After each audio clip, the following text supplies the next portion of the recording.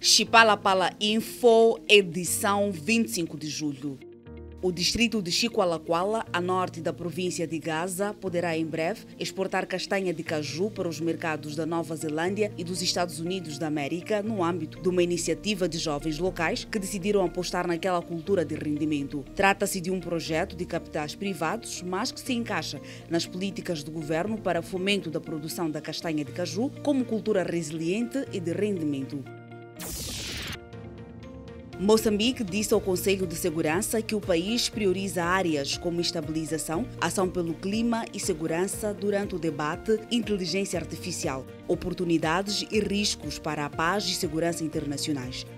O vice-ministro dos Negócios Estrangeiros, Manuel Gonçalves, disse que estas ferramentas podem ajudar a evitar mortes e recrutamento de jovens para o terrorismo.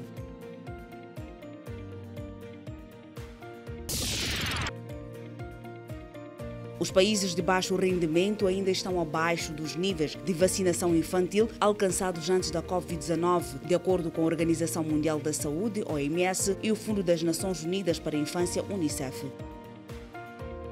Em 2022, foram 14 milhões e 300 mil as crianças que não receberam nenhuma dose.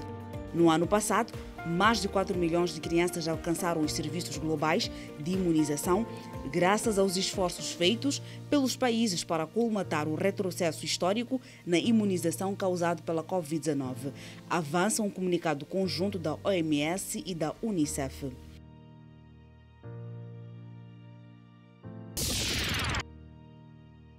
Sabia que o ovo é considerado o segundo melhor alimento do mundo?